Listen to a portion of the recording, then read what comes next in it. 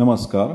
मी प्राध्यापक डॉक्टर राजेंद्र रघुवीर Deshpande from Pune Maharashtra state India आपल्या सर्वांचं आयुर्वेदा अकॅडमी यूट्यूब चॅनलवरती सहर्ष स्वागत करतो.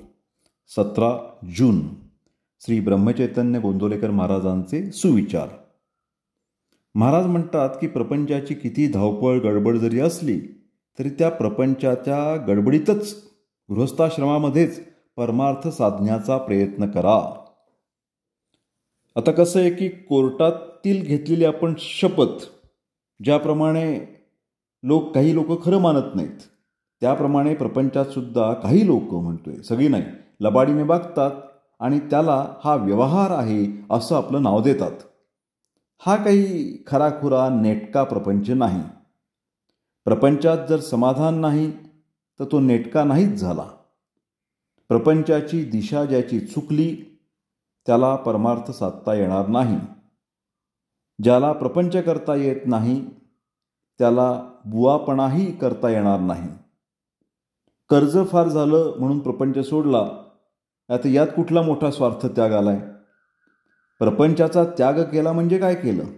तर काही नाही जंगलात जाऊन बसला.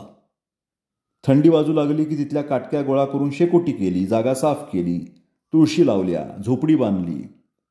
पण भिक्षेला जाताना झोपडीची काळजी घेतली नाही तर मग घरदारानेच काय केलं होतं?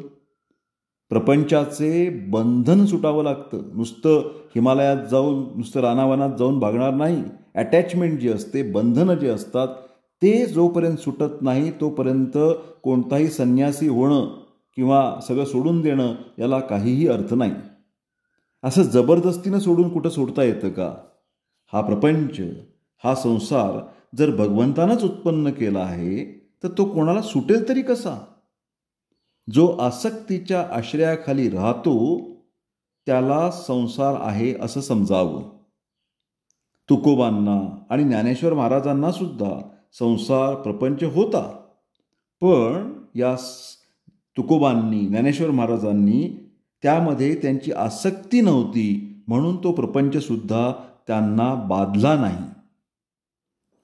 बरेच लोक रिटायर्ड झाल्यानंतर मी परमार्थ करेन पेन्शन घेतल्यावर तर परमार्थ करेन असं म्हणत असतात.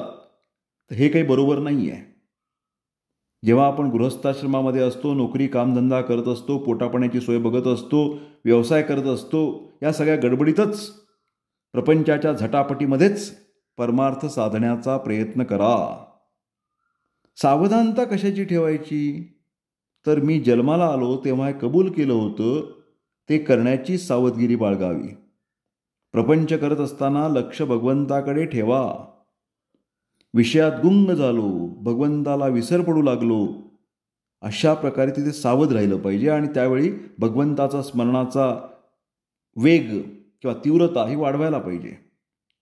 आपण विषयाला जसे शरण गेलो तसे भगवंताला जर शरण गेलो तर त्याचा अधिक फायदा होईल. चित्त शुद्ध करून विचार करावा.